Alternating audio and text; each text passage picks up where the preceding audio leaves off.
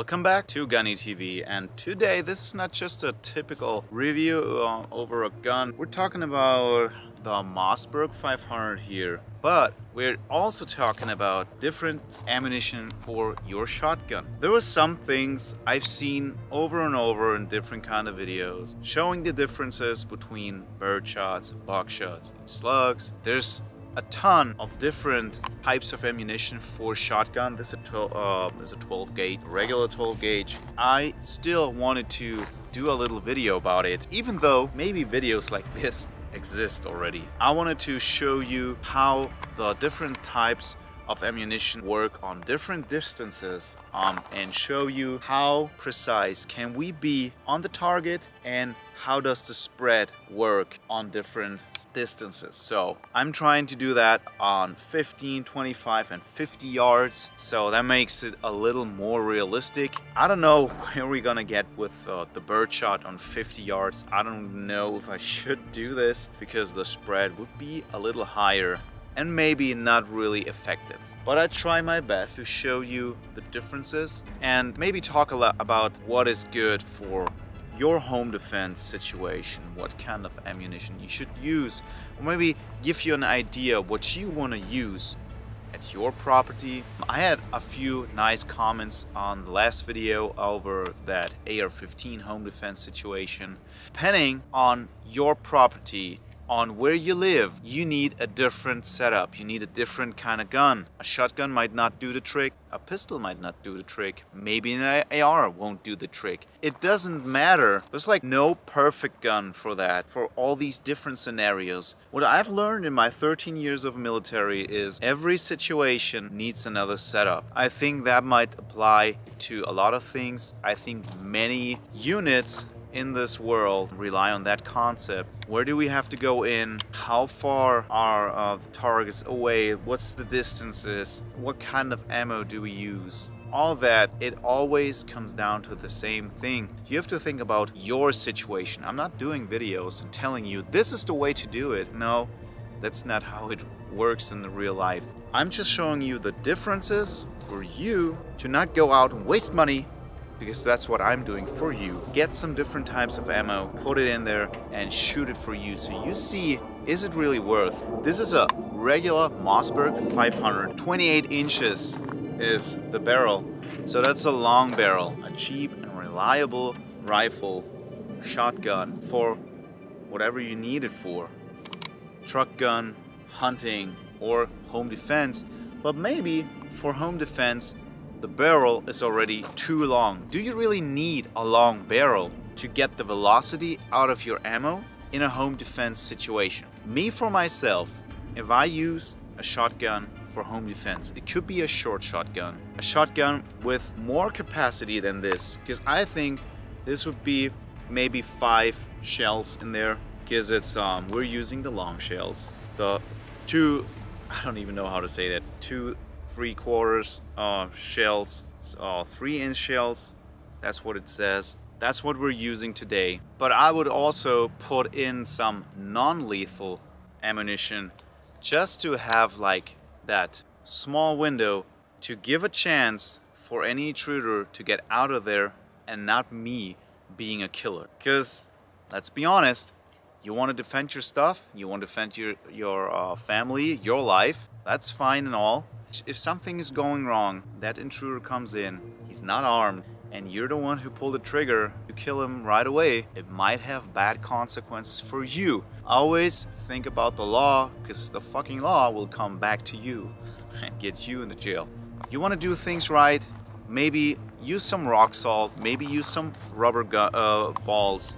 The non-lethal rubber balls would be fine. Have like two or three shells in there, but then after an intruder is still trying to attack you, even though you're shooting at him. I think if he's armed and he's coming for you, you have every right to pull the trigger and get some real ammunition down the range. So, but I'm not a lawyer. I can I cannot tell you what to do. I'm just trying to tell you, be reasonable and um, think about the consequences. So what we're doing today is kind of like the same thing. I will start off with a birdshot, followed by a buckshot, and then ultimately send a slug downrange. This is like the ultimate overkill. A slug has like a lot of energy and it will stop a target definitely. So we're trying out what we can. But also we will show you the differences in the holes. So you might think a birdshot is a good thing, maybe on close range. I think at 25 and 50 yards, a birdshot will not be that effective. Only put a whole lot of fucking small holes in your wall. So you better be precise, more precise with a load of buckshot. And the most precise thing I think is gonna be the slug. So I will try to hit special targets um, just to show you if the slug hits where we want. Okay, let's go. First things first, loading the ammo has to be reversed. So if you want to start with non-lethal, you put the non-lethal in at last. Don't do that uh, mistake and load the non-lethal first because they will be up here and get pulled up in the end. Let's start at 15 yards and shoot on a regular paper target with birdshot, buckshot, and slug. Alright, that's the ammo we're using today. That's the Skeet ammo birdshot, small tiny pellets, reduced felt recoil because there's not a lot black powder in there. And then we have the Monarch high velocity lead shot, buckshot, and uh, the Winchester Super X rifled slug. This one gets in first, then the buckshot, then the skeet. Yeah, fuck, I betrayed myself by buying the wrong ammo. That's a 20 gauge. I didn't take a close look. I was just wondering why these shells are thinner. So we're not shooting buckshot today. No 20 gauge. So let's put in a slug first and then the buckshot. Oh, the birdshot, I'm sorry. Okay, it's gonna be a, a shorter video than I thought. So that's gonna be the birdshot, 15 yards, on the paper target. I shoot right in the middle. So now we're going for the slug. We'll have more recoil, so I'm gonna be careful shooting this. I'm gonna shoot right in the middle, the center of that target. We got two holes now. Maybe you can see it from here. That's because the wad of that slug was going in there too. As you can see, from 15 yards, we already have a spread that's really, really fucking wide. And the slug was really good, so pretty much center. This is the wad that went in there. So you will not have another hole in the body, which I don't think it will have the velocity and strength to go through flesh. 15 yards, you can be really precise. And this thing will definitely cover up the whole face. Let's try it from further back. All right, 25 yards in target. We start with the birdshot and then the slug again. And now you will see, hopefully, that the birdshot will be all over the place. And I think 25 yards is like the maximum distance for the birdshot we will do. I don't want to hit any other targets from the 50 yards. That's why we're making a cut here. Doing the 50 yards with the slug again. Slot. Now I'll try to shoot in the lower rectangle. Good hit. Let's go over. Yeah, slugs are definitely a little harder to shoot. You see the slug, lower rectangle. Good hit. That's the wad from that second shot. So you can see how far these parts drift from each other. That was the first shot, the wad from the first shot second shot and the wad went over here. And now you can see what I meant. The birdshot went all over the fucking place. So at 25 yards, you will definitely hit the whole body of a person and more. So is it really good to use that in a home defense situation? I'm not sure because you will definitely splatter all your walls in the house. Not so cool. A slug will be really, really precise and easy. The buckshot, on the other hand, I think will have a spread of maybe this size on the 25 yards or higher. I shot with buckshots before. I'm sorry I can't show, show it to you today. but maybe we'll do that again. But the thing I'm, I'm going to is like, you can see that it does not make sense to use birdshot as a home defense round. Rather take some rubber bullets, rock salt if you're really super close by, because rock salt will has the same amount of splatter effect, but also hurt in the skin, but not kill. It's up to you. I don't know. Please look up the regulations about rock salt using against people. I don't know it. Maybe it's legal for home defense, maybe it's not. We're going over to 50 yards.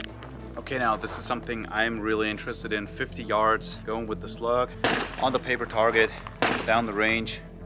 Oh, you can see it here. I'm really excited to see and find out how precise I can hit with this. I got only one shot and I try to aim for the head, the alpha section of this target. I don't think I have ever shot a shotgun on this distance. Why? There's not really a use for that. But in case that's the only home defense rifle you have, you should be able to hit something. Buckshot will be able to reach that distance. Is how far it will spread, I can't tell you. I don't know. I don't think it's a lot. Buckshot really keeps close to each other for a long time until it really spreads. But a slug is different, it's rifled and it has some more velocity and is more accurate in its way of flying. Let's go over and shoot the A section of this target.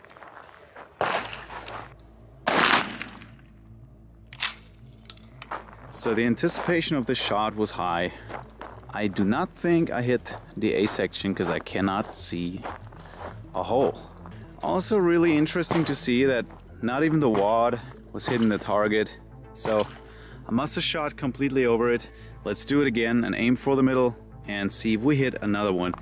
Please remember wad in the upper rectangle and second wad and first shot in the middle one, second shot in the lower rectangle. All right, Right in the middle of the target.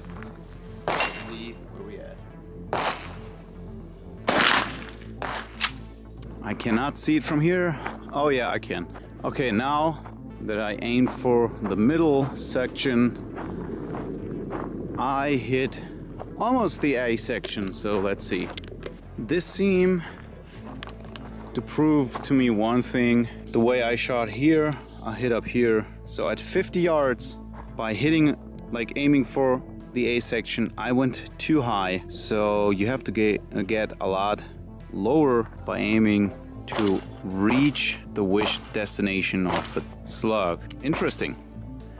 Okay, is it really precise on 50 yards? A slug won't do the trick on 50 yards maybe. Depending on what kind of ammunition you, you use, still able to hit the target at least but I, I don't think this is really a good uh, way to prove it. I mean, there's a lot of factors in that different barrel length, um, different ammunition, um, weather conditions. I mean, today weather conditions are great, so I don't think it's that. But also the way the slug would fly, and on that target, uh, on that distance, it might spin longer and stabilize its flight down the range a little different. I mean, you can see a difference in how the, the hole looks compared to these two. They're more round, more cut out, and this one seems to be tumbling a little more, so it ripped more of the paper than this did or this did. More ripping, I think, is more spinning. Definitely something happening here with the slug. So I don't know about you, but I don't think on bigger distance on farther distances a shotgun would be a good home defense. In-house, maybe yes, but as another viewer um, already told me in the comments, depending if where you live, if it's an apartment complex, maybe not a good idea because there's many people living there. Um, there's a high chance to go through walls and hit innocent people.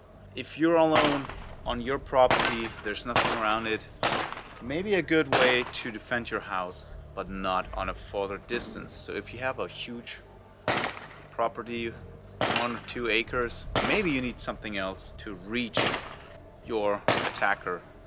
So what I think, which is really easy to control, and most of people will deny that and say, hey, pistols are harder to control.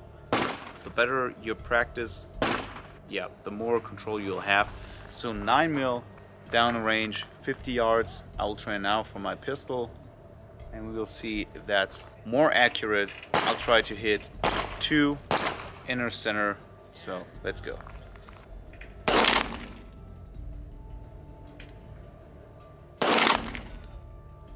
My second shot I fucked up, so let's see. I think my first shot was pretty spot on, but with the second one I was shaking a little. And I can see where it went. Yeah, it's low left. I think both are low left, okay? Even though I missed with the second shot, um, they're still in target. Both are. They're kind of close by. It's not perfect. So hitting low left. And um, for those of you, um, I didn't film it last time. I had a huge issue with my pistol, which we found out was the sights. My iron sights are maybe broken. They're totally off. We can't fix them. And the red dot was not coexisting with the iron sights because iron sights were off and also the red dot was off. We made the, the, the red dot work again. Don't think this is really good. I'll try again from 25 yards and try to be more precise and see if my red dot is off again. Okay guys, 25 yards should be no issue. 50 yards normally is not an issue for me. Last time we shot low light and I was still able to hit all the steel targets with they are smaller, way smaller than a paper target, but maybe the red dot is off again. We'll find out now. Um, two alpha.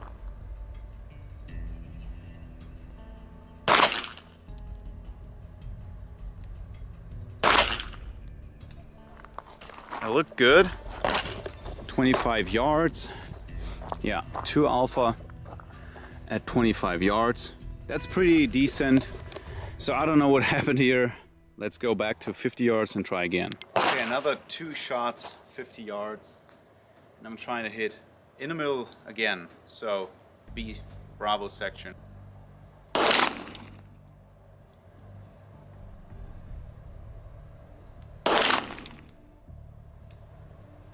Second shot again. I was shaking. The first shot was spot on again, I hope. Let's see. Okay, it's better than I thought, but still, with both hits, they're really close together, way different than this. So that result is way better on 50 yards. Still not here where I was aiming. So there must be something off with my red dot again. But weirdly enough, 25 yards, it looks perfect. So guys, I'm not an expert, especially not in home defense. I never had a home defense situation. I'm living in the US for four years and I'm gonna be able to use a gun for home defense for four years. Before that, in Germany, I wasn't able to do that. It's not allowed by law to use any firearm to defend your home and your life in Germany. Please don't give up your rights. Go vote. I don't know, I can't. Keep that um, right to bear arms and defend yourself. And I hope you learned something by that today. I'm just trying to learn for myself and give you what I've learned. That's the things I found out an experienced shooter might tell if I'm shooting well or not. I think I know when I'm doing um, a fuck up at my shot, if I rip too much or whatever. But I'm overall um, okay with the results today because it was telling me by going back and reproducing the same thing that something must have happened with the velocity or the, the way the ammo was flying. Same with the, uh, with the 9 millimeter. So I hope you can tell, but just watching this video and seeing what I've did, I have to train, train more, of course. I want to get that good so I shoot hole in hole every time I pick up a gun. Let's empty that mag for you guys.